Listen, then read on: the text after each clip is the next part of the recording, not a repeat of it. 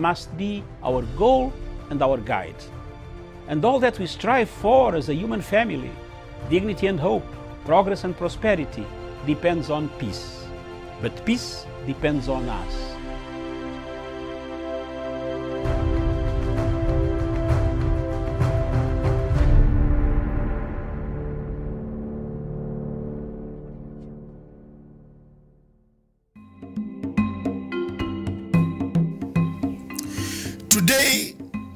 Thousands and thousands of Africans and many countries in Africa have conflicts. Notably, from Libya, Cameroon, Nigeria, Biafra, and Boko Haram to Democratic Republic of Congo, of where we have seen a resurgence of the past military and conflicts coming back in that country. Hundreds and hundreds of people have been displaced, killed, maimed, tortured, raped, several of them dying of hunger, starvation, and other natural causes. The fighting seems not to be ending. For the sake of Libya, the Libyan recognized international government is under siege in Tripoli from another faction recognized by Egypt, France, UAE, and other Afri- uh, uh, countries. Whereas the one in Tripoli is recognized by the UN, it has been bombarded, it is, has been strangulated, and it, many millions of Libyans are dying of hunger, lack of water. The water system has been cut off. The bombardment goes on. In Democratic Republic of Congo, we've seen more of active rebel activities returning to the region after some silence has been observed. When we come to Cameroon, we see millions and millions of Ambazonians slaughtered.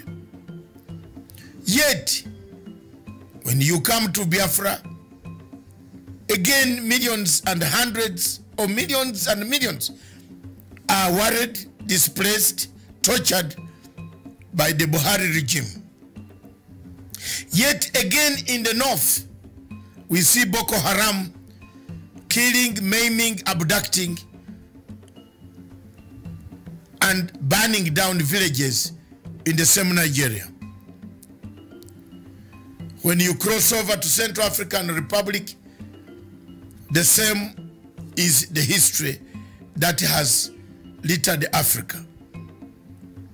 While all these events are taking shape, Africa is silent. Africa is not making enough efforts to find a solution to what is causing the problems in Libya, in DRC, in Cameroon, in Nigeria, Biafra, and now you add in Khartoum, Sudan. As people die, the people of Africa have no answers, have no solutions. There's nothing to near to bring an end to the conflicts that have killed Africa. We seem to be new ones manufactured, old ones reignited, encouragement coming from external powers. One power that has been seen in the shadows of all these conflicts, especially the one of Libya that has escalated in the Sahara region of Africa, is France. When you come to Democratic Republic of Congo, the same country is in the shadows. The war can be seen is France. When you come to Cameroon, in Ambazonia, the one behind that has the key to bringing peace is France. Therefore, our question, and our question as Africans, why are we silent? Why are we not saying enough is enough of the wars? Thank you.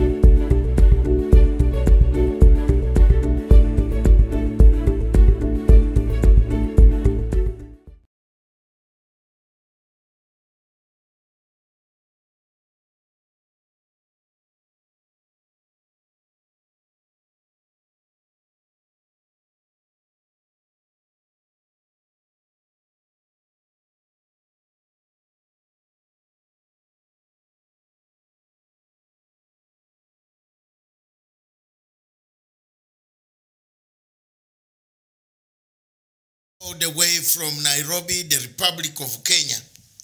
Viewers, thank you very much for watching us. This is Diplomatic Leaks. Diplomatic Leaks is a show that we bring to the people of Africa. We deliver it at your doorsteps at night while you have just come back from work. You learn what the diplomats do and what they don't do behind the closed doors. The diplomatic leaks teaches us many things that Africa must understand, must know. Which direction are we going?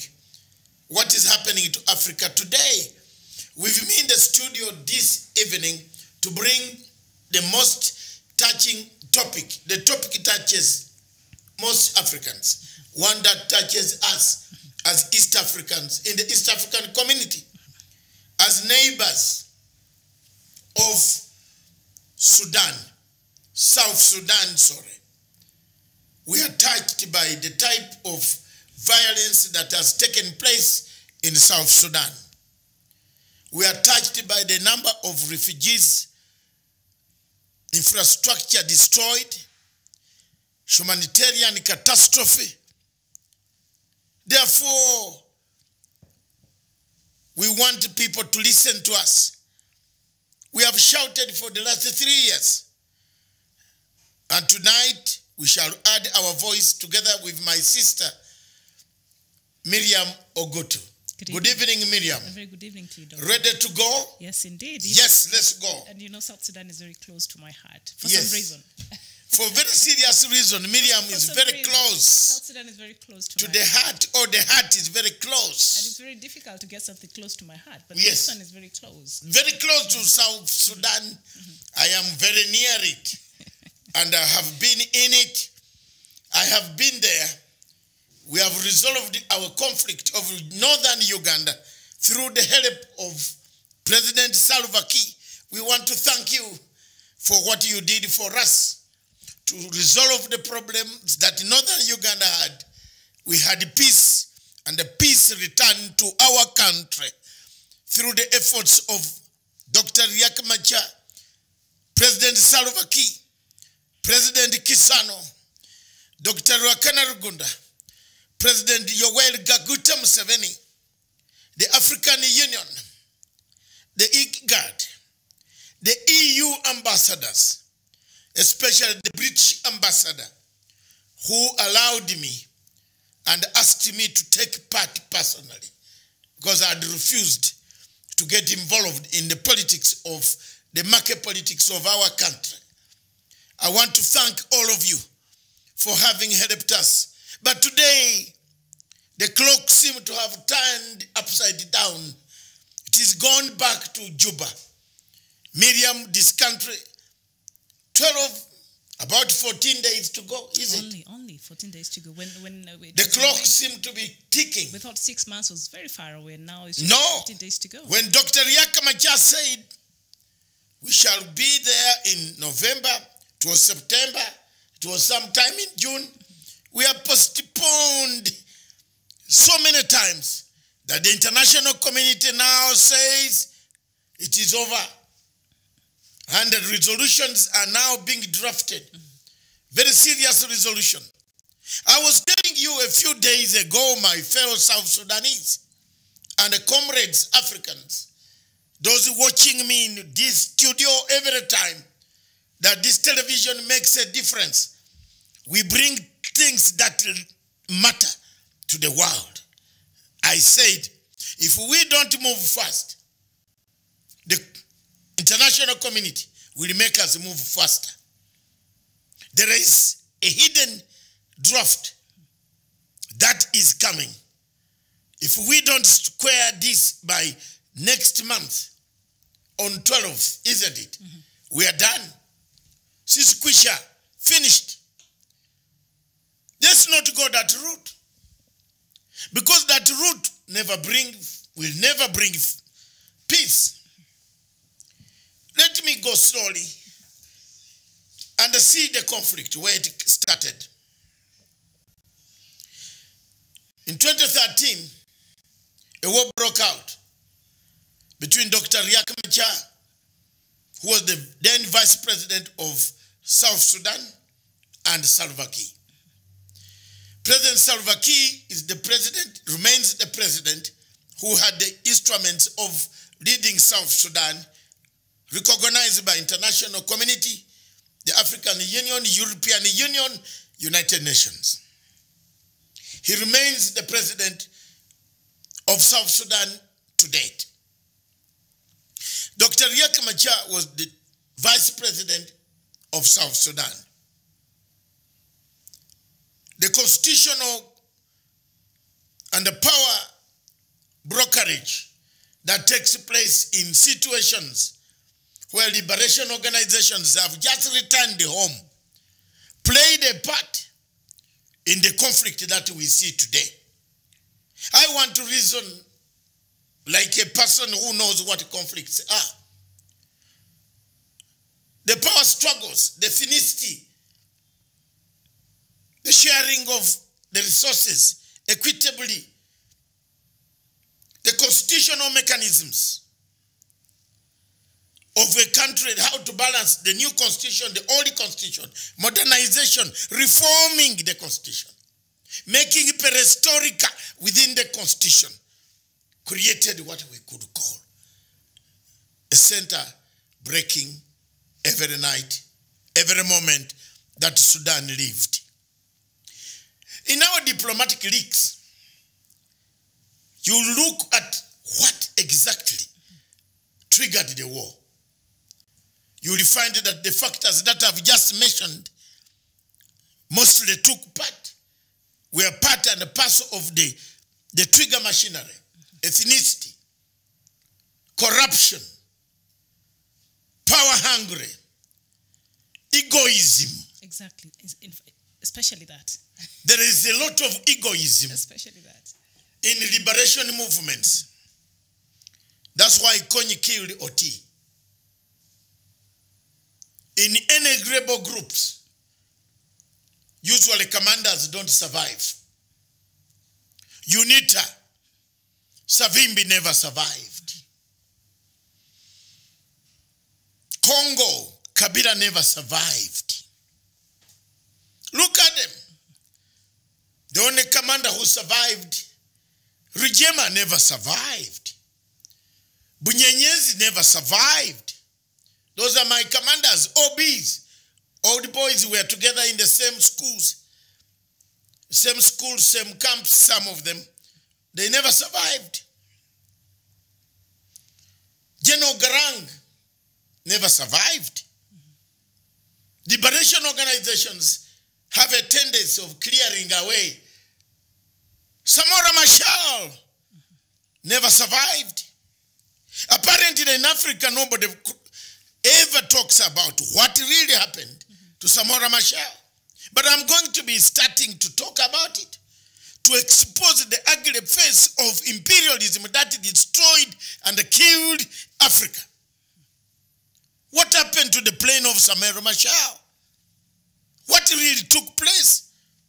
So liberation organizations always collapse at the hour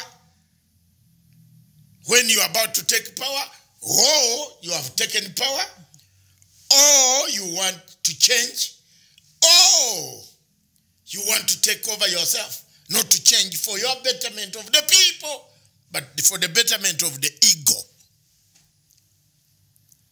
Viewers, wherever you were, South Sudan was plugged, plugged into this situation by some of those factors I've mentioned. If you think there is another factor, add it to what I've said. South Sudan and the South Sudanese our brothers. The humanitarian catastrophe that has taken toll since 2013 to date lingers in our minds, destroys our minds, our memory is erased as soon as you see some pictures somewhere. But as soon as it's erased, it comes back of the suffering of the people of South Sudan. And I hope the, the people in the production team will bring some of these pictures in the background as you speak, if it is possible. Today, this is what we want to know why we have not been able to close and cross over the bridge. South Sudan is a country where River Nile cuts through. If we were on this side, can we cross over to the other side? It appears the bridge is also banned, or is there hopes that uh, there could be a makeshift bridge that can ha- have South Sudanese cross the other side? I think, I think the bridge about bridges time. is needed. Do we need the PBI in South Sudan? Yes. The redemption strategy in South Sudan is important. And every resolution, every talk, every peace talks, IGAD, whatever UN, they are talking about it. How do you accomplish everlasting peace in South Sudan? We want to take this opportunity to thank President Salva Kiir for remaining steadfast in the search for peace. We equally want to take this opportunity to tell Dr. Riek Machar, as a man who picked guns, as a man who claims, not me, but he claims he was provoked, he was going to be killed, he had to defend himself. But time has passed for either you were going to defend yourself or you are the defender. Time has passed. Am I clear on that one? Either you are defending yourself or you are the defender. What is coming next in the 14 days as the world watches? Countries have secretly drafted resolutions. All these revolutions, when you read them towards the end, and I believe Miriam will read some of them Yes, later on when they, Yes. I finish this one. yes, we do have the resolution, but the U.S. The- Senate. Mm-hmm. You see, they come to what this man with his mouth, this one here, has been saying, whom you call all names. Thank you. I've been telling you. I've been telling my friends in South Sudan that there's a country that has drafted a silent resolution. I've been telling people, don't tell Rainbagger, because Rainbagger is a very dangerous man. These are diplomatic leaks, and we must tell the truth, nothing but the truth. Mr. Rainbagger took look, took the presidency of Kenya plus other four Kenyans to the International Criminal Court. It would be a very bad choice Your Excellency Dr. General Salva Kiir Mayad to appoint Reinberger as your lobbyist because he will lobby for you to be in any tribunal, whichever tribunal they are. He took us to the ICC in Kenya. He's a man I cannot meet and greet. Although God says meet and greet. If he's at a function, I run away. Because I oppose the ICC syndrome on this African continent. It was a mistake, therefore, for people not to listen. And they better, they better listen now. Because the clock is ticking so fast. If you think you are safe, you haven't seen yet. Resolutions, two countries. Now one country has come out clear. The United States of America. But there's another country that is that did the resolution. That's where I picked it from. And watch my eyes. I picked it from there. How I picked it, don't ask me. Oh yeah. It has drafted it well. It usually doesn't go with the type of pomp that the French use when they are about to conquer an empire. This country is modest and it always comes in quietly. Which country is this? And that country is giving you signals. Is this is the one that? Uh, I don't know. Let's go slowly. Don't spoil the proof. Yes. South is fragile peace is faltering with only 14 days. If it falters within the 14 days before the country's president and armed opposition leader form a coalition government and begin a long recovery for a five-year-old civil war. One country in Europe called United Kingdom, through its Ministry of Foreign Affairs and the Commonwealth, on 18th of October, issued a foreign and a Commonwealth advised that all South Sudanese, all British nationals who are in South Sudan, whether yellow, white, black, brown, and you are British national, to move towards the airport, find safe exit, and leave South Sudan. Well, you can still do so. You can do so. Levels of intercommunal violence, citing this is Britain, and I'm quoting what they said. They say the levels of intercommunal violence remain high across the country, and there are sporadic reports of fighting between armed groups in certain areas. The adversary wrote. It encourages Britons in South Sudan to leave if it is safe to do so. And in the morning, we asked this question, Dr. Matsanga what has the British seen that uh, we've not seen yet? What are they seeing the aftermath of our post uh, the 12th, the, the deadline of the 12th November that the rest of us may not have been able to catch a, a glimpse of? What do they know that we don't know?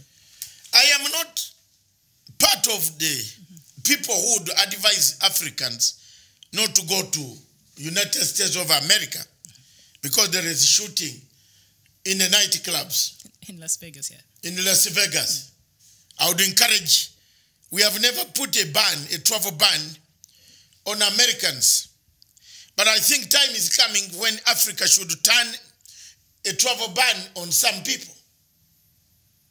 I don't see why we should give America a visa for $50. If I were Minister of Tourism and Foreign Affairs of Kenya, the Kenyan visa would be got for $500. If you want to come to see Kenya, you pay $500. Because there is more to see in Kenya than it is to see in America. In America, you see cement, balconies, hive buildings. In Kenya, you see animals that are very rare. So I would tax people. And I'm just asking President Uhuru Kenyatta and others to raise the taxation. I'm asking Zimbabwe to raise the visa for any American going to Zimbabwe to a thousand bob per visa. A thousand dollars per person to enter Zimbabwe. Why do you demonize Zimbabwe and then come back and tell them that you are coming to see the animal? Why do you want to see the animal? You hate the people, then you want to go and see the animals. Hello, Africa, wake up. It's a wake up call for Africa to know. People are saying, What do we do with sanctions? We have mountain gorillas in Uganda. 2,000 Ugandans have been put on sanction list. Why can't we also retaliate? For every American stepping in Kampala and Entebbe, $2,000 per visa. They will pay. I think they might consider that having seen, Yes, I am now. I, you having see, seen President Mus- Museveni I'm just- was warming up to Putin last week. I am- America might consider. yes, I am now just telling President Museveni, Yes. give me this slot of Minister of Foreign Affairs. I will do very well. I will bring that rule, law, in, yes, in the Parliament of Republic of Uganda and ask Ugandans to give a visa, $2,000 per person who wants to come and see Murchison Falls Park. They are very rare. If you don't want, stay. Create the mountain there, oh Murchison Falls. Time has come for Africa to wake up and talk with passion, with patriotism like Nyerere, Nkrumah, Sekutore, Siad Barre. These were the people who used to talk, and Africa could say, Oh my God. Jomo Kenyatta, Obote. These guys spoke with strength, with unity or purpose. Today in Africa, we speak scattered like animals, the same animals that the Americans come to see. This conflict of South Sudan is a result of the same people. John, George Clooney and Prendergast, those are my next target in Africa. They organize themselves into NGOs that go on looking for faults among African countries. They create coups. They pay opposition to overthrow governments in Africa. They support rebel groups. And then they turn around to say there's a humanitarian catastrophe. When you are the one who created it. Why are you creating a humanitarian catastrophe around the Great Lakes region? We are very quiet, silent people. We have lived with the Somalis. Today, somebody has paid Somalia to go to the International Court of Justice to accuse us, to accuse Kenyans. Are you not creating a conflict? You who pays Somalia, which has not money and a toilet, they haven't built toilets yet. Because the toilets were all finished by the Americans in 1991. Al Shabaab is finishing some of the toilets, killing everybody. Somalia has not doesn't even have money. But somebody is paying for them to accuse Kenya. Don't you think there's someone who should be responsible? South Sudan could not have gone the route. It has gone. Instigators, outsiders, darker forces looking for the black gold, looking for oil, looking for resources. Total oil. Hello? Did the Africans listen when Total Oil said, We have been looking for oil in South Sudan? And unfortunately, we did not get this oil, and we have left. We have packed our goods to go away because we didn't receive what we wanted. After how long? How what did the total oil? Which side was total oil in the conflict? and Total Oil packed its goods, crossed over Pakwach Bridge with their um, um, things and came to Uganda. In Uganda, they found the Chinese were already in the saddle. Do you know that our oil has been sold before we even know how much it is? That's another conflict in waiting. They crossed over to Kenya and asked, Oh, we are going to build you some LAPSSET. But first of all, give us Ngamia 1, Ngamia 2, or Ngamia 3 or 4, or invent a Ngamia 20. Kenya said, Oh my God, we don't have it. They crossed over to Mogadishu, found a man called Farmaajo, a man who has a British, uh, American passport, weighing it, waving it to whoever way comes. He's like a wind event. Whoever arrives in Mogadishu, welcome. Then go, Turkey go, Qatar come in. Norway come in. America now open, wind van. We don't have nationalists anymore. We have windy van presidents that Africa has. In South Sudan, the story grew from worse, bad to worse, worse to dangerous proportions where the clock is ticking. I overhand you, hand you over Miriam for your facts. All right. I know, and, and the train is on the roll already. And you mentioned the Sentry Report, and just I'll read uh, maybe just a few lines from their executive summary there. And the starting of that, they say that the men who liberated South Sudan proceeded to hijack the country's uh, fledgling governing institutions, looting its resources, and launched a war in 2013 that has cost hundreds of thousands of lives and displaced millions of people. So this is the, the start of, of the Sentry report, and uh, this is what they're saying. Uh, this is what we're supposed to remember from, from last week. Yes. So, yeah, so they're saying the people who liberated South Sudan came along again and hijacked uh, the country's fledging governing institutions. So Exactly. the, so the savior has become the abuser now. Yes. The, the, the, the, the- first of all, but what they, I, I, I, disagree with George Clooney and the Prendergast of the Sentry. You know why? They don't have anything to tell me. They can only tell Americans who have never gone to school. But a man like me who has gone to school, who can teach them political science, ask them, what is it? Who gave? Who created that conflict? It is them. It's Clooney. It's Prendergast. Prendergast has been writing about Bashir in Khartoum. Prendergast has been paying demonstrators in Khartoum. Prendergast has been writing, and George Clooney wrote to put more sanctions on the people of Khartoum. And what they have done is to extend themselves with another project called Enough, which writes very bad reports about the area of Sudan or Greater Sudan as it is. So for them to say the men who took over the country, who liberated, they are also the factors. Can we say the factors that made South Sudan to be independent turned around through George Clooney and the Prendergast to dismember the same nation? And it's very interesting because, as you said, we have the U.S. Senate re- resolution on South Sudan that was made last week uh, on Tuesday. That is the 22nd of October, and uh, it was such a long, uh, uh, such a long resolution. So I just uh, uh, took a few part of that.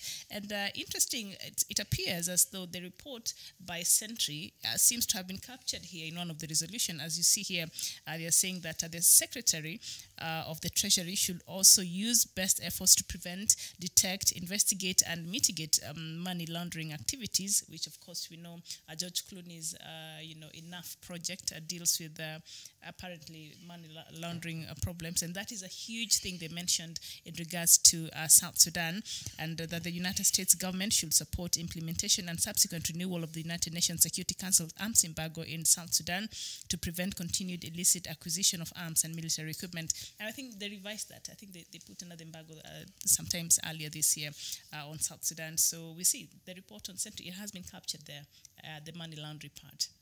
Let me let, let me me calm down. And uh, who, who, where does the money, where is the money laundered? I want George Clooney to tell me who in Sudan laundered money where. George Soros building in New York is next to Trump. The president. Yes, that is that is so-called president of America. Because I don't recognize him. He doesn't recognize us as Africans. I don't think I recognize him as a president. I'm also educated. In fact, I, I write better English than he does. I don't think he knows how to construct sentences. But let's be very honest. Yeah, it's true. Some of these people, things are written for them. Yeah, Tr- Trump can't. Yes. So we've seen that. Trump can't write, can't think. He always, he's always stealing data. This is the president of a first world stealing data. You know? Superpower. And there are no Africans talking about his thief- theft. A superpower stealing data somewhere to win an election. Then you come to Africa, you come to Zimbabwe and they say the election was not democratic. Too stupid. To hell. Enough is enough. I am not a diplomat. I am an African like a Nyerere. In fact, if you see, you hear my voice, it's more or less like a Nyerere. Put on Nyerere voice and pull, look at my voice. We are more or less maybe Nyerere passed through my village. But you were in then- Tanzania. For yes, so Nidi- mu- I was in Tanzania, so I have no problem. It- I know Tanzania well. Yes. He must have, uh, you know, inspired you. inspired me, my blood, and my generation. Let me ask the truth. The money is laundered to where? Mr. George Soros launders money. Show me one warrant of arrest that George Soros has been put on, except the one in Russia and Hungary. in Hungary, where he's he's come from. Yes. Is Hungary. The rest is in the US. He's seated near Mr. Trump Tower. He's calling African leaders to come. He's calling Chamisa. Come, come, baby. Come. He's calling Bobi Wine. Come, come, baby. He's calling Besigye. Come, come, baby. He's calling someone here. I don't want to mention because now we're in shake hand handshake. Yes, I will leave that. Baba used to be called George George Soro Kofi Annan. Baba now is on the right route. He, we are going to Canaan. We are going to Canaan.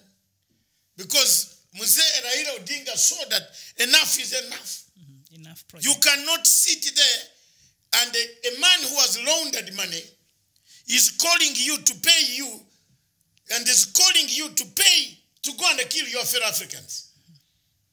George Soros now, if you are issuing warrants against Africans, why don't you issue a warrant against George Soros? Why do you issue a warrant against a, a Zimbabwean minister who is doing his job? And you fail to issue a warrant against George Soros, who is seated near Trump's tower. And Trump and George Soros, they don't see eye to eye. But it's yet they allow Mr. George Soros to dismember Africa.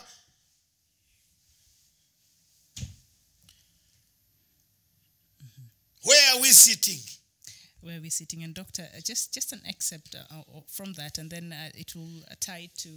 Uh, you, you've been saying there's there is a resolution that has been prepared and is lying somewhere. So in this report here from the U.S. Senate resolution, point number six, when you go towards the end there, it says that. That the Secretary of State, in conjunction uh, with the Secretary of Treasury, uh, should continue to monitor human rights abuse and corruption in South Af- in South Sudan and take decisive action using authorities granted under the Global uh, Human Rights Accountability Act, and of course um, they're like that. But when you see they start bringing the issues of human rights, which you know has been abused in South Sudan, it's a charge sheet towards closer to ICC or somewhere there. Yes. Yeah, they're making a case. Yes. And that is His Excellency Dr. Uh, His Excellency General Salva Kiir Mayardit. Mr. President, you are my president. You, I respect you. A, you respect you.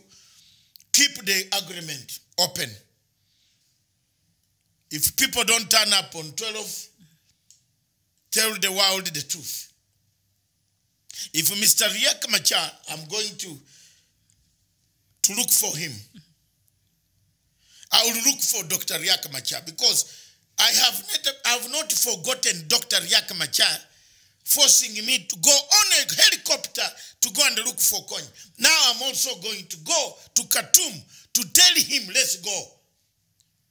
And I'm willing to travel on that flight to arrive in Juba with him. Because he made me have peace in Uganda. I'm proud. We are, we are proud Ugandans because Dr. Riek Machar was part of the process. Yes, was part of the process. Your Excellency, Dr. Riek Machar, Teny, book me a flight on that flight. If not, I'm going to talk to General Hamed Daglo, my friend for many years. I'm going to tell him to get me a seat. I will be coming if he fears to go. Because this guy used to force me to go on. You know you are going to see Kony, who is a, a killer. And he says, go. Even when Kony had killed every commander, he threw me in the in the forest to die. Now time, your turn. Your turn, Dr. Riek Machar. Your turn. Come on, man. Come on, baby. Pull up the socks and come. Did you just say Dr. Bashir to book your flight? You know he's, he's, He under, he's under house arrest. The debit card may not be working. No, we, Ahmed, Dr. General Ahmed Duklo will. He'll be by. Uh, in fact, I, I will make a call tomorrow to make sure that I am part of that delegation. Mm-hmm. So encourage Dr. Riek Machar that 12 nothing 12 will happen. 12 November. You need friends. Mm-hmm. I am one of those willing to travel on that plane to land in Juba. especially friends to South Sudanese. Yes. The, the- who are the bigger picture here. Yes. Who are suffering there in South Sudan. So one of our viewers here, Galdino Sibet, thank you so much for writing to us. You're saying the tragedy of South Sudan is the actual tragedy of Africa. IGAD drags its it not save the innocent civil population, but to serve the very leadership that dragged us to this mayhem. As the clock ticks to November 12th, uh, the symptoms are crystallized. Uh, the agreement is never implemented and expect the tragedy to repeat itself. We know the toothless of the international community, including the local ones, AU, and IGAD, and so on, keep watching the catastrophic war degrading South Sudanese. So he's saying there has not been a commitment, especially in these regional bodies like IGAD or international bodies like United uh, Nations and even AU. AU has, I, I can't even bring AU into this conversation, but uh, you know, they're saying that. Uh, somehow these people just sit there and watch uh, South Sudan, uh, this catastrophe happen. And uh, he seems not to be having a lot of faith uh, that uh, 12th November, come 12th November, 14 days from now, there will be something substantive in, in terms of, you know, having this unity government starting to be implemented. Thank you. And a very good somebody has written here, Amera Ban, South Sudan belong to South Sudanese, not to Riak, Riak and the Silver alone. Okay. We South Sudanese are fed up of the so-called leaders, all of them. Exactly. Abraham John Long Deng, I'm watching from Australia. Thank you, brother. From down under, I know you have woken up very early in the morning. Or is yet to go to bed? You- No, no, they have already left Three bed. hours. Mhm. They are going to work, but thank you very much. That is why we are crying here. We are still on this job until there is peace. All what we are saying today is there must be respect. That Dr. Riek Machar respect Salva Kiir. Salva Kiir is a president of Republic of South Sudan. Respect must be there to accord ourselves a peaceful transition.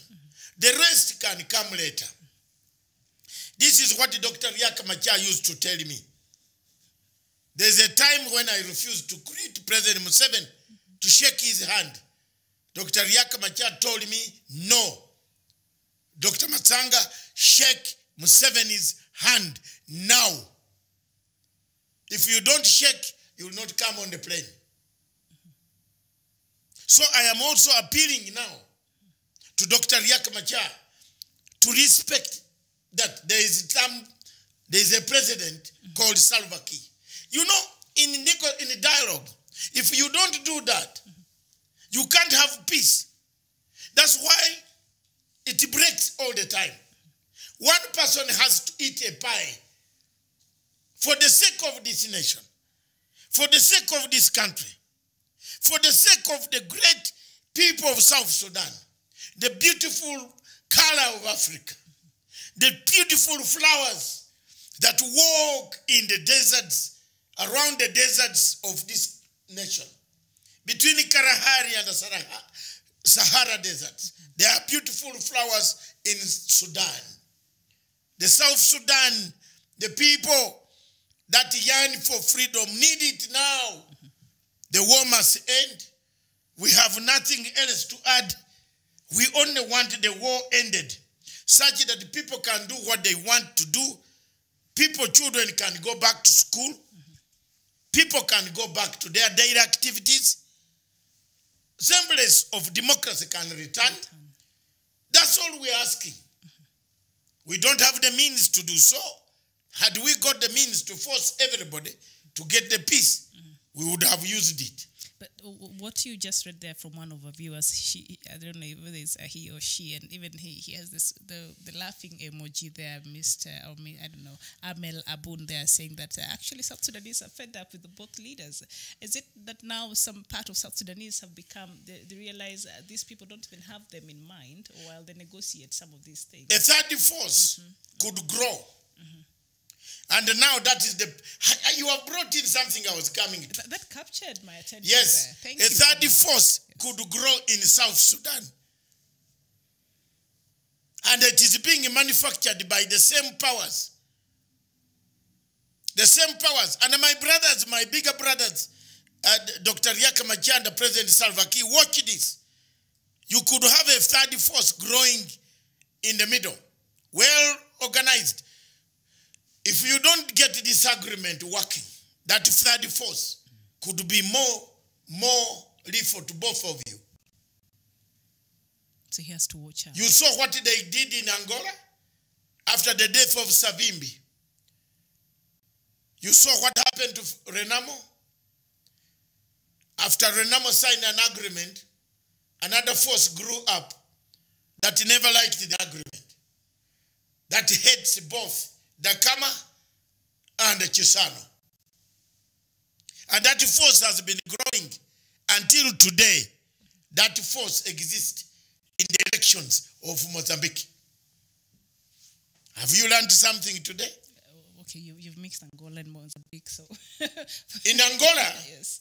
after the death of Savimbi, mm-hmm. assassinated having left Kampala mm-hmm. after selling diamonds to Mr. X in Kampala. He was in. Uh, Yeah, I don't want to say much. Okay. We left all the way through DRC Congo with a satellite phone. He was gunned down by Angolan MPLA forces. Savimbi UNITA never became the same UNITA that could fight a war beyond that. Who was doing that? Who owns the satellite? Who man, mans the satellite systems? Who mans the, these phones? It's only one country in the world that mans those funds. So watch for that country. Because when I talk about this country, everybody wants to slaughter me. and of But the satellite phones are manned by only one country in the world. the world. And, And then that country directed where Mr. Savimbi was going. Where is Mr. Savimbi? He's gone. Another force grew up in UNITA that never wanted to know anything, but only to say, let's go and do whatever we want. And earlier this year, they were able to, to be given the remains of his body. And Yes. They accorded him a decent send off. So it is, you have to be careful when you are being used by these countries.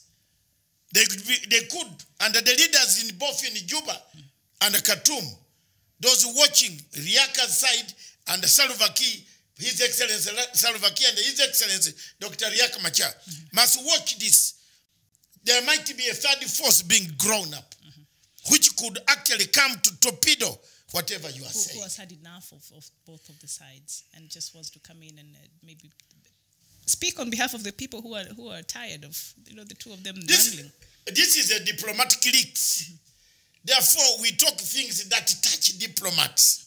So if you're a diplomat, don't get worried. We don't only take, talk things, we don't reveal some of the top things, but we leak which is supposed to be leaked. Like uh, now, we have leaked this resolution of the United Nations of America. America is pushing for that thing. But there is a country that has hidden a draft. They have been doing it for the last six months. They believe that once there is a hybrid court and the names are read out, the agreement will be signed faster than lightning. Yes. Do you, do you agree? Yes, indeed. And for our viewers out there who perhaps might not be very familiar with this South Sudanese, uh, you know, situation, we talk about it here. So if you're one of our ardent viewers, so perhaps you know, even if you're not, you don't come from South Sudan. But uh, the reason why this is very important for us to keep talking about is because this, the, this, the numbers are staggering of the people who have been affected by this uh, war. And uh, since the onset of the civil war in South Sudan in December 2013, nearly 400,000 South Sudanese citizens are estimated have been killed. Uh, 1.9 million have been internally displaced, and 2.3 million have fled the country and registered as refugees across uh, the globe. And also, right now, the United Nations reports that over 6.3 million people, more than half the population, were classified as severely food insecure at the peak of the season in 2019. So, these kind of figures is what is making us, and we have to continue talking about South Sudan because these are not just statistics, these are people. There you are. Yes. Didn't I tell you? Repeat the figure and we see. Just repeat the figure. Because um, Matsanga has been talking and the people hated me. At first, the Sudanese government, South Sudanese government, thought I was against. I'm not against. Both, both Salva Kiir, President Salva Kiir helped to bring peace in my own country. I ate his food for four years. So we are invested. Yes, I should help him to have peace in his country. I ate food when Juba was no Juba, in the tents. I ate food in Juba Ra, Juba Bridge. I got peace in my country. President Museveni had refused anything to do with peace. President Salva Kiir said, no, we must have peace. Your Excellency, I want to thank you. Don't give up. Don't give up. These guys are coming. They have prepared a resolution against you. Get this peace process going. The world needs peace. Dr. Riek wherever you are, I'm prepared to come and go with you on the plane to arrive Juba that day. I'm your friend. After all, you took me to a place where I never wanted to go. And here I am. I said one day I will help you. I'm here to help you, Your Excellency Dr. Riek Machar, to realize the dream so that the United Nations Security Council does not catch you. I don't want to go to those courts every time like I did on Kenyan people. I don't want to cry tears for the suffering of the people that are in the bushes that are, have never gone to school. No medicine, no schools, no food. Come up, men. Help Africa to come up. Stand up. Come. Sign this agreement. Let it go. The rest we can sort out. It is not a pattern that we can see imperialism overrunning us. But imperialism that runs us and creates fault lines is the type of imperialism we should forgive ourselves never to enter into pact. It is therefore my humble request to my elders, President Salva Kiir and Dr. Riek Machar, the time ticks, the clock is ticking. South Sudan needs peace. There is nothing more than peace. The people have suffered enough. Get down and sign. Implement what IGAD has done. I am your brother. You helped us to make peace. Some of us had never talked to Museveni for over 30 years, 26 years actually, to be exact. But we talked to him that day. We made the peace. Go ye, come out. There's nothing difficult in making peace as South Sudanese. South Sudan needs peace now. Now. Forget about Clooney.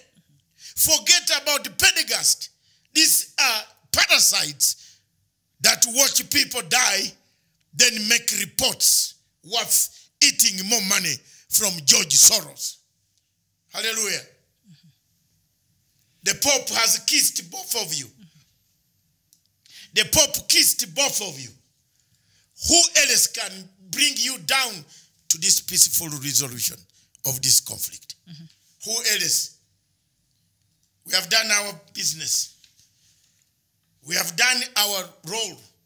We have pleaded with the world that there be peace. The people want peace.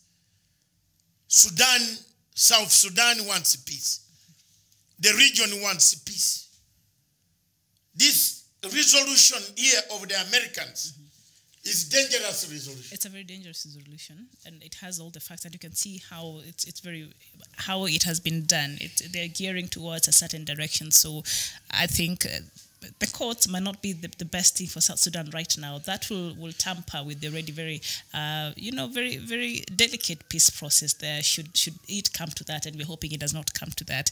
And when you look at the statistics, this is from the U.S. Senate resolution that I just read. The people who have been affected, uh, people who are suffering there, who are uh, uh, you know are facing starvation, the kids who are malnourished, they're building a case towards a certain direction. So I I hope that these leaders are seeing. They don't see.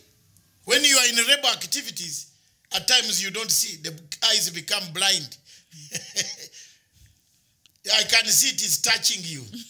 I told you South Sudan is very close. Yes, so- for, some, for some reason. South Sudan is very close. Let's have a breather. When we return, diplomatic leaks will come up with a few areas in Africa yes. where we feel we should tell you what is happening. Let's take a breather so that Miriam and I can hold our tears back, Can recollect ourselves. recollect ourselves. We seem to have gone. Miriam is touched. I am touched. All right. But make peace a priority. Time is ticking. The clock ticks towards South Sudan. Thank you. I want to call upon the people of Ambazonia today, wherever you are in the diaspora in Ambazonia itself, that in a struggle you are bound to have divisions. But divisions should not divert you from the main focus, the main challenge. We have struggled to expose the happenings, the human rights abuses in Ambazonia. The army has killed hundreds and hundreds of thousands, burnt houses of people, internet was cut off, schools were closed, dispensaries, hospitals were burnt down. Ambazonians should not be intimidated by Paul Biya. It is not upon the leaders of Ambazonia, because I am not from Ambazonia, but I've played a pivotal role in making sure that I loud out the voices, I put out the call, I call upon AU, EU, United Nations, Human Rights Watch, Amnesty International. Many of them have listened to some of the things that I say here, and they have come at last. America, United States of America, is slowly, slowly moving towards giving the Ambazonian people the dignity they deserve. I therefore call upon the leaders and the leadership of the Ambazonian people to unite for a purpose. The unity of purpose is paramount as opposed to disunity, which has nothing but only produces ego that we have seen in South Sudan. What has killed South Sudan is not because they don't have the money, the minerals, the resources, is ego between Riek Machar and Salva Kiir. We would not like to see that ego come to the people of Ambazonia, the leadership of Ambazonia. I call upon Samuel Sako, Akanga, Milan, and Eko to unite and talk with one voice on international scene that will bring about the peace, the tranquility that you yearn for since 1961 when resolution 1608 was abandoned by the United Nations General Assembly and Ambazonia was annexed by the Cameroon government by then. I call upon you, my brothers, to pick up the unity call and free your people without disintegration. Thank you.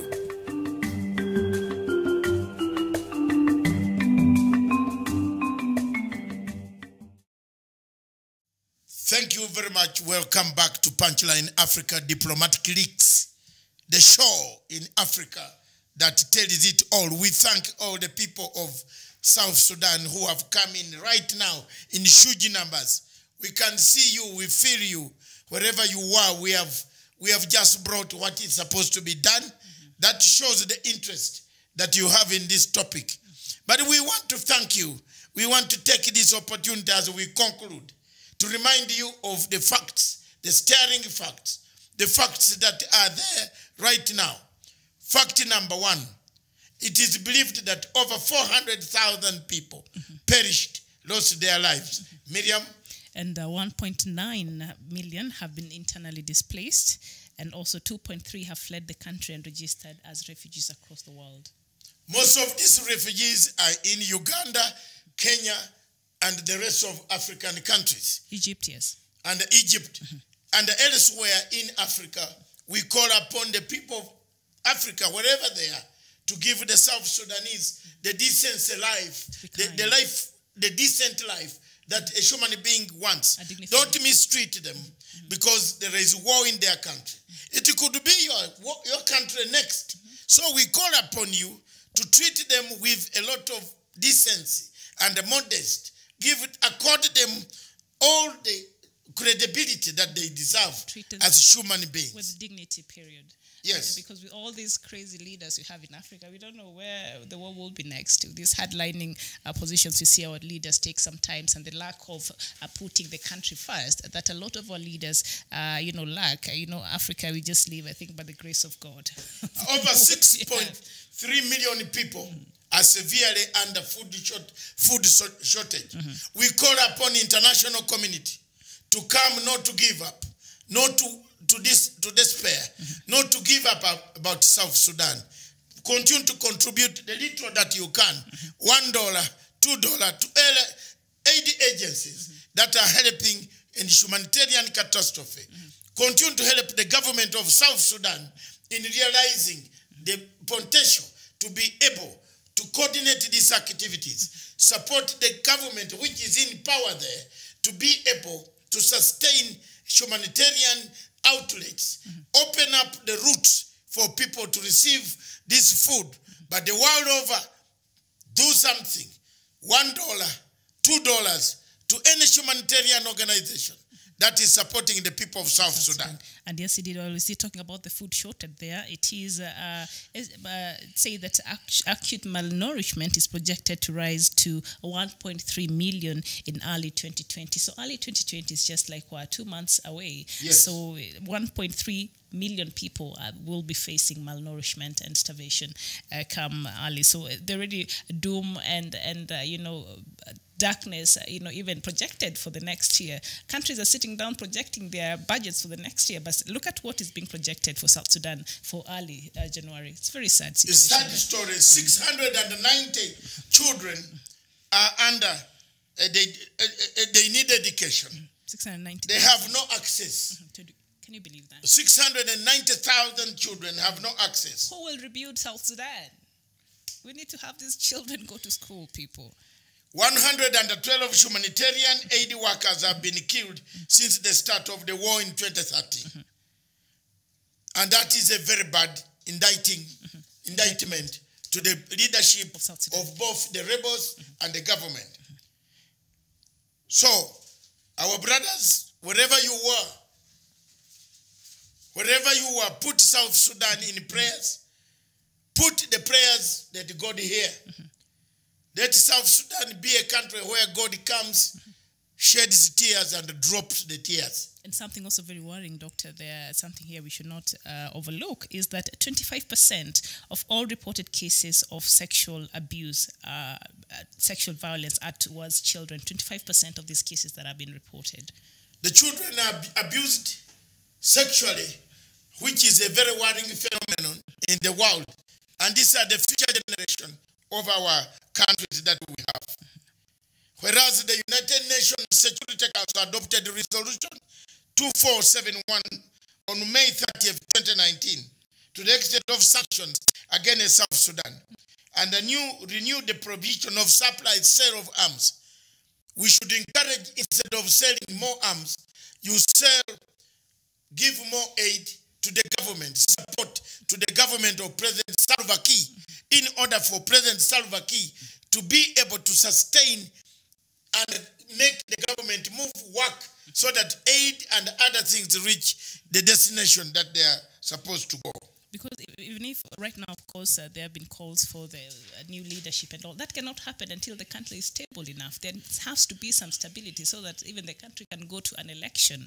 So uh, whoever is there right now, who is the president, Salva Kiir, I think if he can, he can receive all the support uh, that the world can give to him. I don't know which other support he, he, he needs because I think people have been very supportive of South Sudan and South Sudanese people.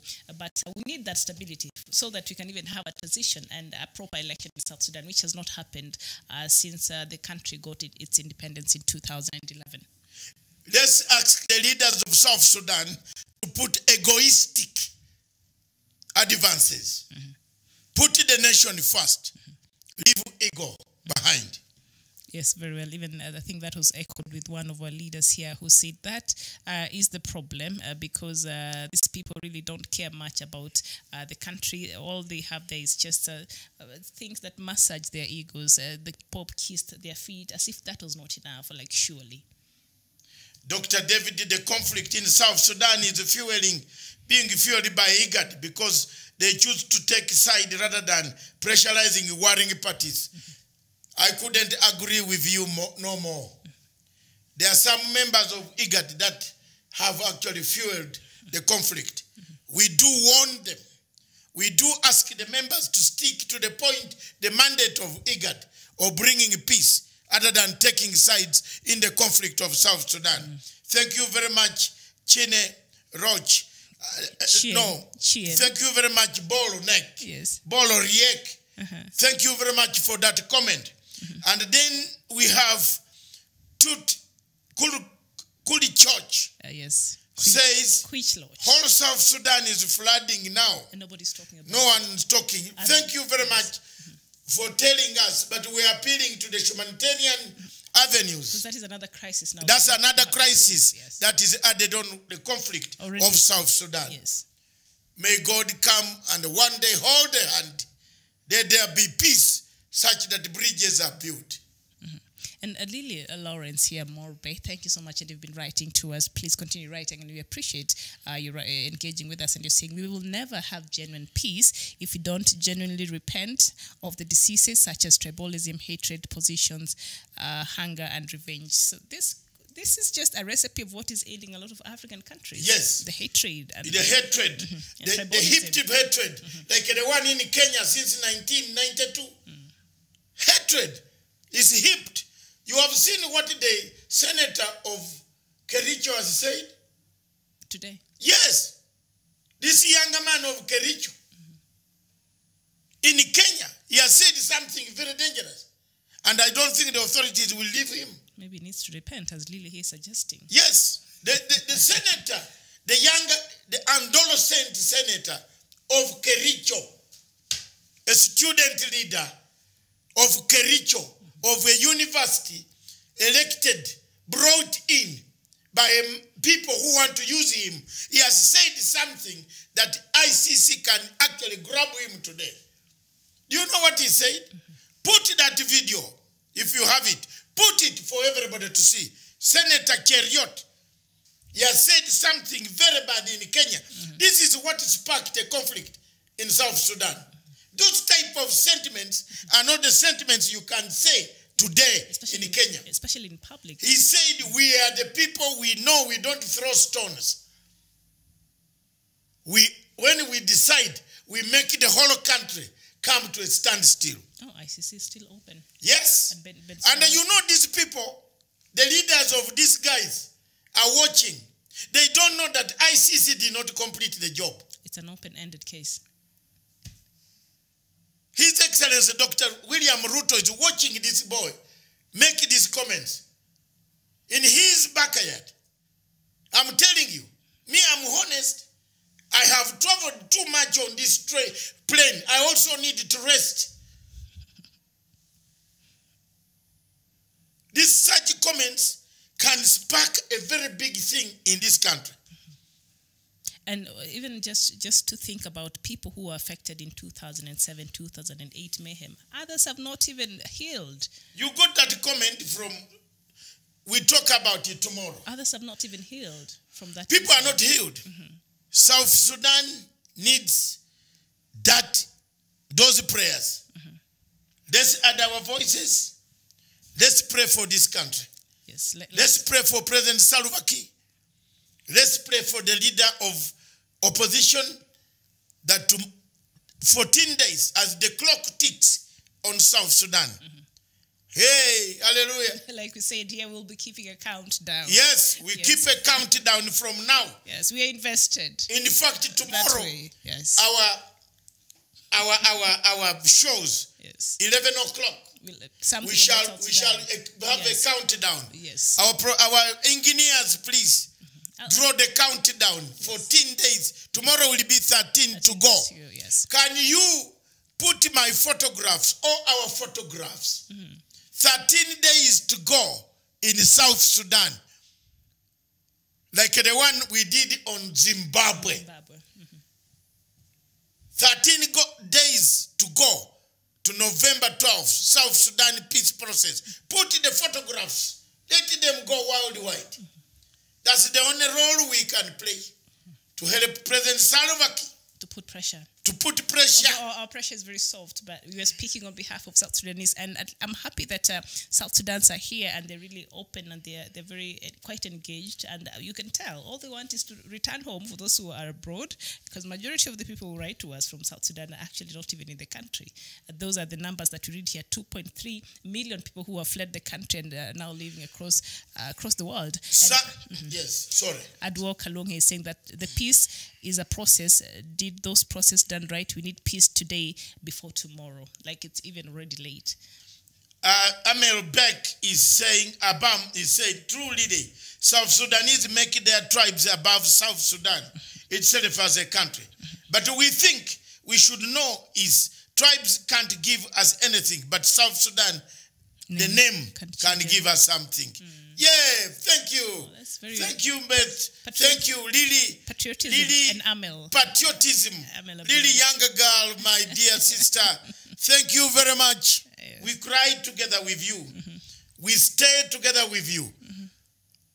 13 days left. What, what Lily here is, is saying something very interesting. She's saying that don't focus on those comments. We are allergic to the truth. Are- Aren't we all, a lot of African countries, we just love burying our heads in the sand. Thank you very much. Yes, we But, bury. we, but we still have to speak it. You know, you Yes. know, I am the most hated man on the platform of social media because I speak the truth. Stephen, there we are. We've gone back to 2014. You see that? Now it is the time not to give up. Mm-hmm. Now is the time to press for peace in South Sudan. Now is the time to give the courage, the impetus, the strength to President Salva Kiir to push on, to put people together. Together. This is the time. We are not giving up. No, we're not. And uh, Aguot Awan, very nice to see you, uh, brother. Thank you so much for writing. You're saying November 12th, 2019 is the deadline and no return. Uh, Dr. Matanga, I want you to know this peace was an African's peace and will be implemented as purely an African continent without West or East weight. Well, the West are already making a resolution in their own Senate, in case you're, you're wondering. The U.S. Senate resolution on South Sudan was made last week on Tuesday. That is the 22nd of October 2019. And also, uh, you know, uh, UK came in yesterday and uh, is asking the citizens, the Britons in South Sudan, to leave while they still can. And I found that statement a bit disturbing for me. And I, I've been wondering, what is it that the British knows will be happening in South Sudan that the rest of us don't know. But uh, there we are. So if we can find peace here in Africa and have our own solutions to our own problem, good for us. If we can avoid egoism, if we can avoid chest bumping, if we can avoid for the sake of these younger men who suffer in the streets of Africa, in London, in Washington, every corner of the world where you go, for the sake of them having peace, for the suffering of the people in the forest, in the bushes, in the savannas of South Sudan, the humanitarian catastrophe that we see can end. If we can put aside the egoism, if we can look at South Sudan, if we can stop George Clooney from writing useless reports that only endanger and bring more conflict than solving the conflict. If Africa can stand up through AU and say enough is enough, no more conflicts in Africa.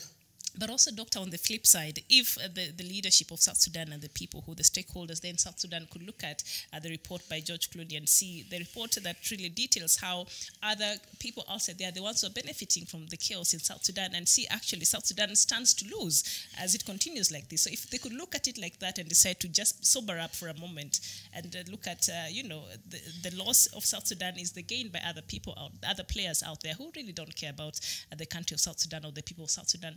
If they could take that report and just use it to, to, to bring peace in that country and stability, it will be good for them. The, the worst part of this report mm-hmm.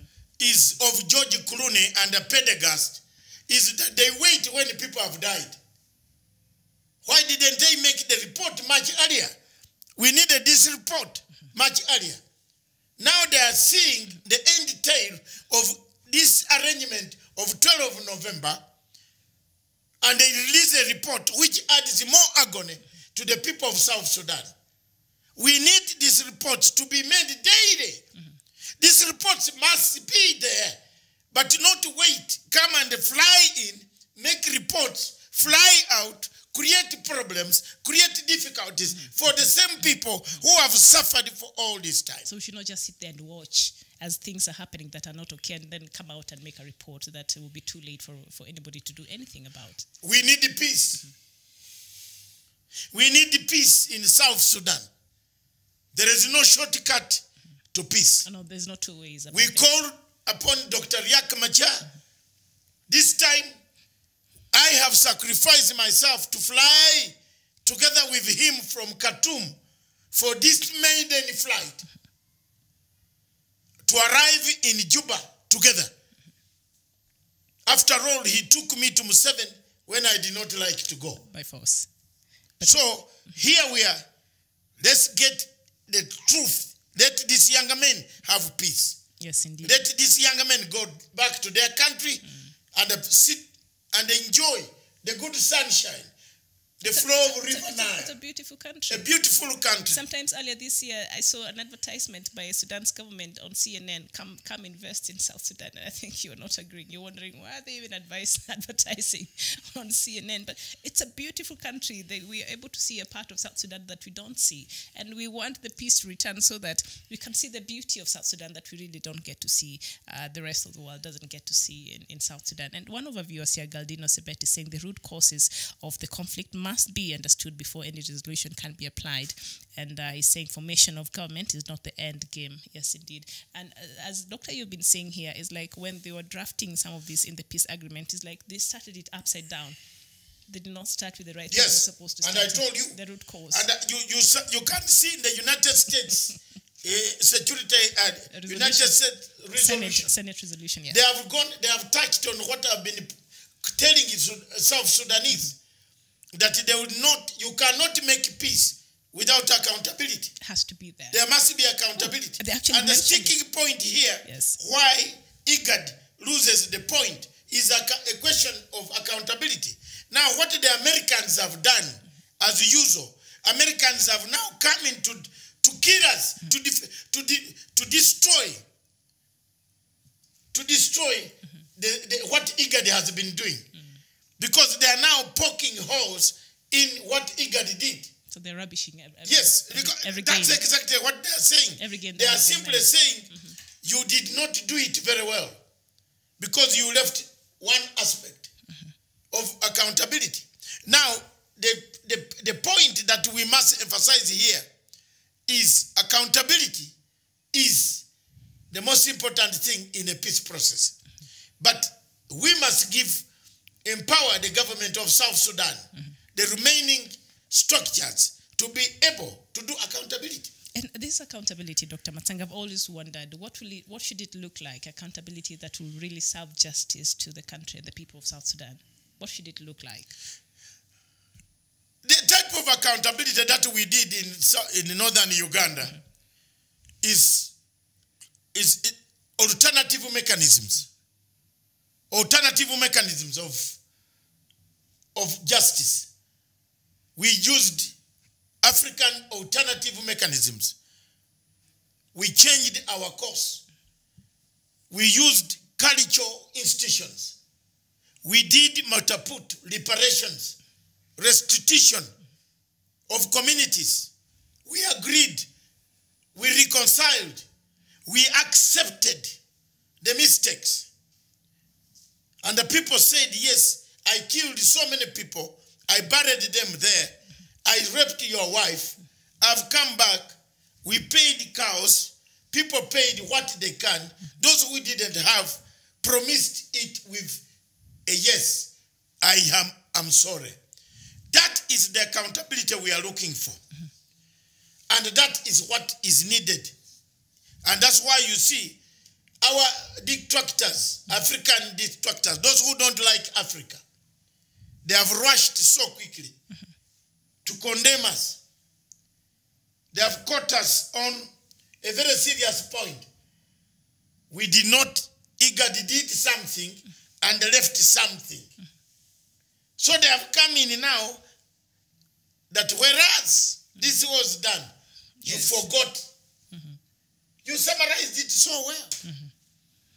Yes, indeed. Viewers, Yes. yes. And that- one, one also of the demands of, of the U.S. Senate resolution, one of the points they're saying uh, South Sudan uh, should immediately release all political prisoners and fulfill their responsibility uh, to protect civilians. And yes, so all the political prisoners, uh, Mr. Salva Kiir, uh, they're supposed to be released. Uh, so I don't know. Of course, uh, being that the United States uh, is one of the countries uh, that has been, you know, uh, the donor funding and things like that, and has a lot of influence in the UN and the the money that is coming to South Sud- to South Sudan. So this is something that South Sudan leadership should take very seriously.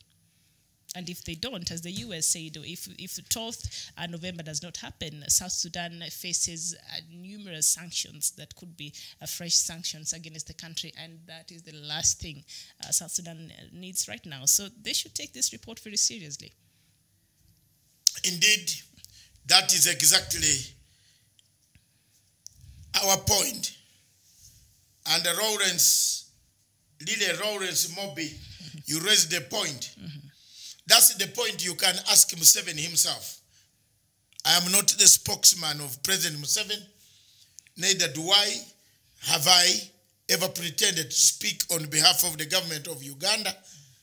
You have got embassy in Juba and an embassy in every street of the world where you are. Uganda has almost embassies in most of the countries in the world.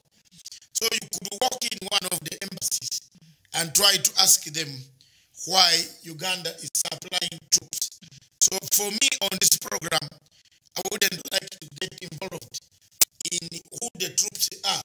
At the moment, I am more organized and more focused in making sure peace returns to northern to, to southern Sudan. And the peace grows stronger and stronger. President Museveni can be asked. I am not a spokesman.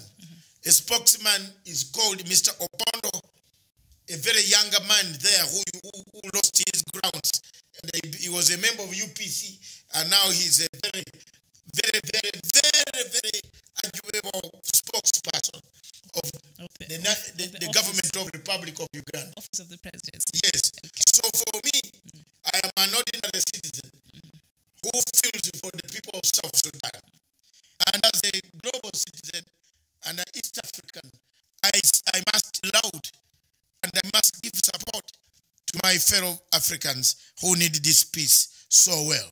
And also, Lily, just you're just confirming part of the report by Secretary was saying people, other countries are actually benefiting from this chaos in South Sudan. So until this leadership of South Sudan comes together and realizes it's the country that is losing, it's the people of South Sudan that is losing, and everybody there when they're coming uh, right now, they're coming with their own interest and uh, they're helping, yes, but there are also other things that so it has to come. The will to want peace and to want to have a stable country must come from the leadership of South Sudan. Otherwise, this will continue being a losing battle for the people of South Sudan. Thank you very much. It's 26 minutes past nine. We want to leave you with the greatest, greatest sense of humor. That beneath any conflict, there is always joy. In any conflict, there is always joy. At the end of the tunnel. Yes. Okay. And don't give up. We ask President Uhuru Muigai Kenyatta of Kenya, the Foreign Minister of Kenya, to continue to pursue a peaceful resolution to this conflict. Where they need help from us, some of us who know Dr. Riek Machar, he will not refuse to talk to me because what I'm talking here is what is on the ground. I will go and tell him the truth. If he wants to come, me to accompany him in Juba, I will to Juba on that day. The clock is ticking. I'm ready to do so. After all, I've gone through so many bad things than this one. The tunnel is opening up. Oliver Fema that tunnel of hope We must keep hoping. Otherwise, what we have We as, lose. as human beings, yes. even up to today we still hope jesus could return He will, but South Sudan has to find peace first. com magok says if the involvement of president Museveni in our country affairs is a cause of all the suffering of our people but if the people themselves don't speak about it then it becomes a bad behavior. It is important for sudanese to speak about it. And you better start speaking about it. And as i've told you if there is any question that concerns president Museveni involvement in south sudan his spokesmen and embassies are open. You can ask him. For me i'm speaking as an african a pan-african who wants peace in south sudan Okay, all right. So we, we he say why our friend Egot always stand with government Our friend Agot, Where's Agot? Agot, somewhere up there. Agot Awan, he's saying, Dr. Matanga, uh, what have you learned from 1945 to 1980s between the Cold War era? But there's something, not that comment, there's something he said up there, and I think he's, he's, he's in support of the government, and uh, uh, he's saying that. Um, uh, you know, uh, the, the the government. Oh, there's something he had suggested. I think that is uh, is uh, angering some um, members here from South Sudan. Uh, that uh, if Dr. Machar does not return, then President Salva Kiir should take Dr. Machar's wife and make her the vice president. Are you trying to break a home? that cannot really happen. Wife to Dr. Machar to be made the vice president of South Sudan. Now, Agot, Agot is always like that. He's, he's a very which wife? Dr. Machar's wife is also in Khartoum. So she's, he's saying that she should be the one coming back. Yeah, so which, yeah, I don't know. But this is a serious matter, Agot. Don't bring, people are dying there in the forest. they need food and you are bringing in such a thing. But it's okay. The sense of humor at the tunnel. At the, at the end of that tunnel. All right. Thank you for that. Adauk along, you're saying, Doctor, if uh, Kiir want peace in South Sudan, when he does not solve the standing issues such as security, construction, and issue of 10 states, uh, those are the root causes here. The states and security of Dr. Machar, uh, should he return. And remember, he had demanded for 3,000 uh, security to be given to him uh, for him to feel safe. And on the backdrop of what happened in 2016, he has like his his his concern is legitimate. We can't dismiss that. So, uh, but uh, Salva Kiir, and I keep saying here, and we really want because he's the president of South Sudan, so he has the responsibility. But he has not come out very very clearly and to assure Dr. Machar of his uh, security when he returns to Juba. So that could be another contention. Is another con- is contention already. Thank you very much, viewers. Thank you very much, wherever you are in the world. Thank you very much. We return next Tuesday at 8 p.m. with maybe A countdown. a countdown. Yeah. Yes, a countdown. We might have it Between now and the next week. we Yes, maybe- seven days. maybe Juba we might have seven days. Michelle Maybe good returned. news would have come. So we need to update our viewers. Yes. this, Yes. And we want to thank all of you who have just been watching us. This tele- television is one of the televisions that talks, talks, and talks, and talks about Africa. Yes. It never tires. It never gets tired. Mm-hmm. We always talk until we shall talk. Mm. Across the bridge, there is no more sorrow. Across the tunnel. I think across the tunnel, the there is no more sorrow. Okay. And we need the bridge that links. Museveni didn't come by himself. He came because the leaders are not able to run our country politically. Oh my God. Keep those comments working and uh, see our show, how, how brilliant it was. Those who missed it, send it to any of the leaders. Send it to Riek. Send it to President Salva Kiir. And send it to those leaders who are in hotels in Nairobi for them to be able to see that there are people out there crying for Sudan, mm-hmm. South Sudan. So some of them are here in Nairobi living, Yes. living large. Oh my God, they are eating lunch here. Living large. Yes, they live lunch. Mm-hmm. I can see our friend has arrived Sure. across the bridge. Don't can cry. you put that picture there? 13 days to go for South Sudan. Ah, you have forgotten South Sudan. Whoa. Put it South Sudan. 13 days to go. And send it quickly before we finish so that they can take this tag. We want this tag to spread all over the whole world. 13 days to go. So every day we shall remove Kaka. Kaka, one, one. We are counting on Riek Machar. We will be counting. We are counting on Dr. General Salva Kiir. Eh, eh, Why? Mr. Clark has come in. Where was he? As the clock ticks, Doctor, be clean and clear. Have you ever received pocket money from South Sudan? no!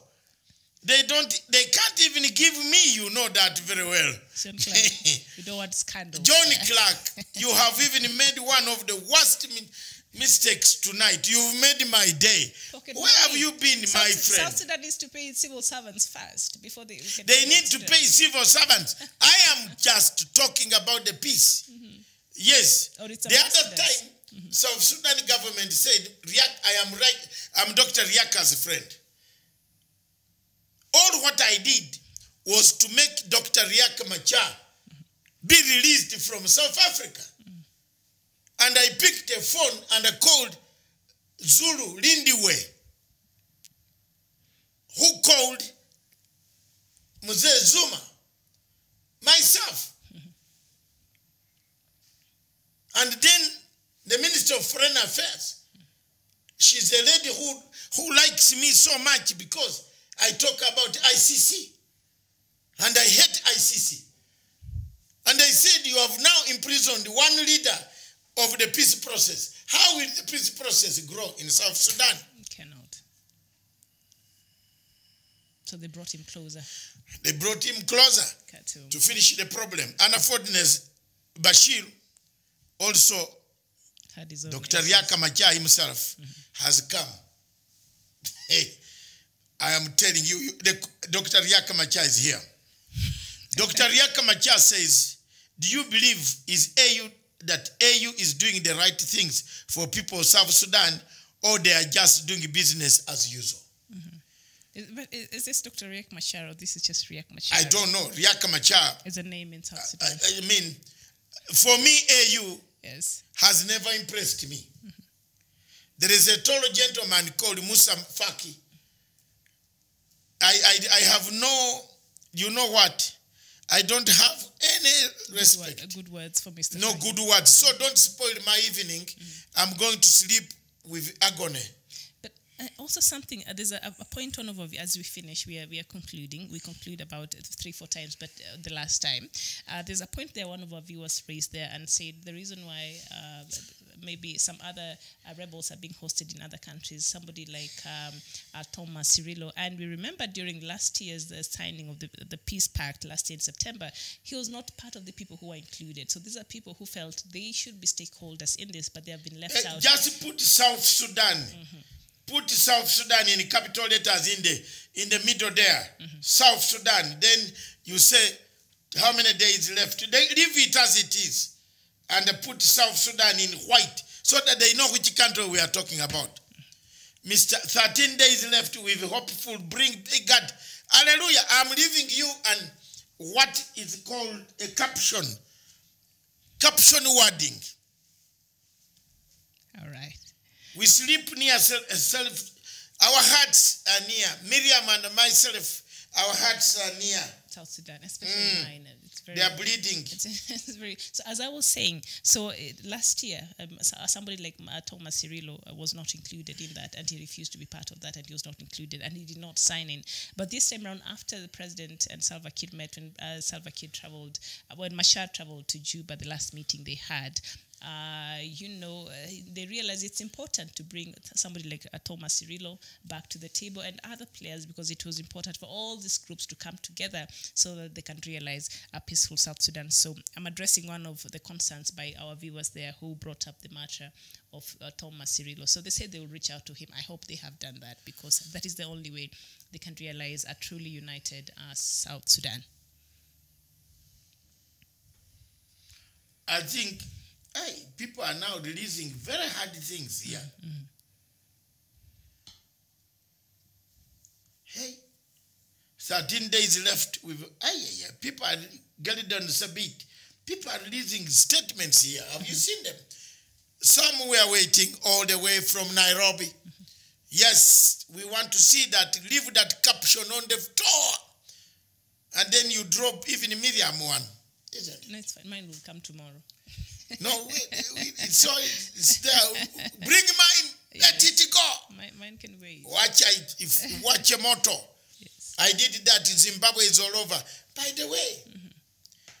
Thursday is Zimbabwe. Let's mm-hmm. look at it deeper. Of the punch. Yeah, mm-hmm. on the punch, Zimbabwe. By then, they would have organized their man. Their, there's something wrong there. But uh, when they organized the protest and the US went ahead and just pointed them at the face by also now giving a fresh ban on the Ministry of the Minister of Security there. I mean, But the embassy of America has become. I, I, I think African leaders should think of imposing sanctions, huge visa fee. not sanctions, but visa. No, visa fee. Okay. Visa fee. We are waiting for that uh, caption and we go. You are holding us around.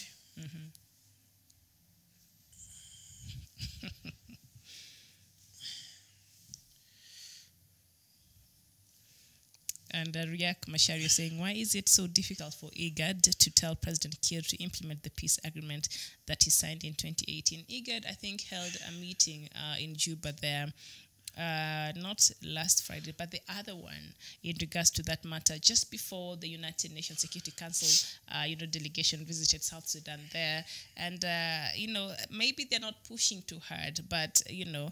Uh, what I think they're doing whatever they can uh, with whatever they have, but also you have to realize truth be told, the other interest in the IGAD state members that you know could are playing also a role uh, in fueling this war that is in South Sudan. So that also we must always have in mind the different state members in IGAD, so that uh, you know. So IGAD, uh, uh, if you ask me, might not have been the right. It's not the right, uh, you know, body to truly bring peace in South Sudan. So perhaps AU and uh, AU has been very standoffish when it comes to matters South Sudan. So there is that is where we are today. So we're waiting for that. We have a request here. Oliver Fema mm-hmm. says, Doctor, can you punch the recent approval of polygamy in Kenya in one of your shows later on? Yeah. In fact, I think Miriam will jump over the floor. Why? Do you want polygamy? It's not for me. You told me. no, it's not for me. But there are other people who are okay with you it, and I have no me. problem. You told me here. I don't over, share. Over. Eh? Don't do that. So it is a good. No, it's not for Why me. don't we I will not it? talk about it. It's not for me. But there are other people who are okay with it, and I, I respect that. It's just not my cup of tea, and I am a teetotaler. Wow. So You have Oliver. Have you seen what you have triggered now? No, I'm good. Not cup of tea. it tea. not my cup of tea, honey. Uh-huh. We are not doing that. Not cup of tea. She can't share. No.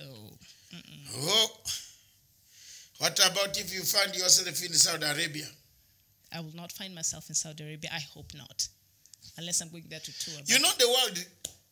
Are we still in the same area when we started in January? The world moves. yeah. You might be somewhere. Nah, the Kenya is moving. Kenya is not being left behind. So stop it. stop it. Yo, the, the photo is taking long. no. And I'm being taken. So There is this uh, theory where people say the world rotates. Yeah. What rotates? Is it the sun or the world or the earth? the earth. No, Rotates- it is the sun that rotates around the earth. the earth. The sun is is Stagnant. stagnant. Yes. So what rotates? the earth rotates in its own axis. The rotation of the earth. There you are. Mm-hmm. Jesus Christ, Miriam will find herself So- in no, no, no. Saudi Arabia or Iraq. While, while the world is rotating, Kenya is also rotating. So I'm, I'm, I'm, in so you stay. You you are like the, the, the restaurant in Singapore. I'd rather just jump to South Sudan rather than. Miriam has shown. Miriam has shown a lot of interest of South Sudan of late. It's very close to my heart. Why? Together with Biafra and, and Ambazonia, but you know, South Sudan is very close. Because where I grew up in here, we had a lot of neighbors who are from South Sudan. So I have a very personal relationship with the people of South Sudan. And we could hear stories from, you know, the people who were going through the difficult times there. So that's why. yes, very close here. We are waiting for you, Stephen, and uh, Sam. Let people choose who has money to feed more than one useless thieves. Aye. Oliver Fema, why made it a law? Yeah, yeah. You are welcome, Miriam. What? South Sudan. I'd rather go to South Sudan than Saudi Arabia. Nothing bad against Saudi Arabia, but I don't think I would. I would. I would. I bet I I, the, the, I'll be okay. I don't know where Flore- Flores has gone. You should also welcome me to South Sudan. Uh, yes, but you should go and no, you should go to Juba, no, to Khartoum, and get get your friend to South Sudan. Get my child to South Sudan. Eh, Force him there as he forced you to to I will talk to Dr. Mota. Yeah, Uh, Mota is there. I'll talk to him to, to connect me to General Duglo. Have a good day, guys. But remark, mark my words. Riek and Silver V never sit together. again. And this time, those two men are beginning to be afraid of themselves alone. They have personal issues. Eh? They're not fighting for country issues. Believe me, that is very true. And uh, John Clark.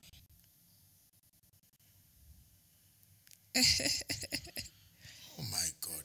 Have you seen what Clark has said? It's, it's John Clark. Hi, nice to John see you. John Clark, Miriam, Have you read that? Read it quietly. No, read it. I read it quietly.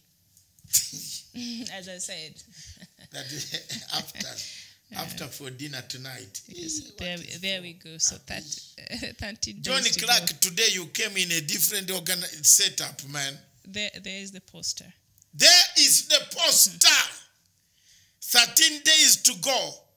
Still the implementation of South Sudan deal. Just count it. Continue counting, ladies and gentlemen.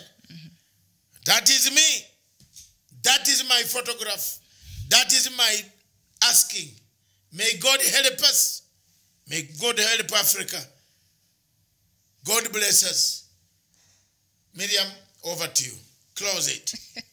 So we want to thank you so much, our viewers, and we want to thank you for engaging with us and the people of South Sudan and everybody else across the world who is uh, worried and who has concern over this country that we love dearly. And we just uh, will continue talking about it. Somebody there says, enough of the talking, we need action. We, we know the action lies with the leadership of South Sudan. All we can do is just continue bringing awareness and talking about matters South Sudan and indeed other matters across Africa uh, that requires us our attention. And so thank you so much. And hopefully tomorrow we can meet here 11 a.m. East African time for another edition of Good Morning Africa, where I'll be bringing you together with Dr. Matsanga, You you are know, good to pick up Dr. Riaka in the latest uh, across Africa. And before deadline 12 of November. Okay, this man now, uh now they want me to go there. I'm in chaos myself. Eh? I will go. All right, so we, we see them tomorrow. Yeah. Thank you very much. Keep that flag. Go on the, removing one day by day. Ehe, mambo itaonekana. Yeah. Thank you very much. Goodbye. Good night. I, I gave you time to finish. You can. Let's finish calmly. Thank you very much, viewers, wherever you are. Thank you for watching us. You have been watching Punchline in Africa TV, Diplomatic Leaks. We have, for the last one and a half hours, we have been battling to expose, to help, to encourage the people of South Sudan to come together to achieve unity of purpose and bring peace to their own country. Sudan pains us. Sudan is at our hearts. Sudan is a sister state in Africa. Therefore, for those whose prayers can be heard, and for us who can continue to pray as we have prayed before, pray for peace to return to South Sudan. We have done our part as journalists who have talked about all the things that have happened. Remember, the big brothers are watching us. We don't know what they want to do, but whatever they want to do, as long as it helps the people of South Sudan to achieve peace, so be it. On behalf of Punchline Africa television station, behalf of the producers, the production team, the researchers, and anybody, all of those who did every logistics, the video men, cameramen, my co-anchor, Miriam Ogute. Thank you very much. Your heart lies near South Sudan. Mine lies in South Sudan. Why are you removing mine inside Sudan? Hers lies together with me in South Sudan. Why are you replacing my heart? Thank you very much. This station, therefore, is for Africa, with Africa, by Africa. Child.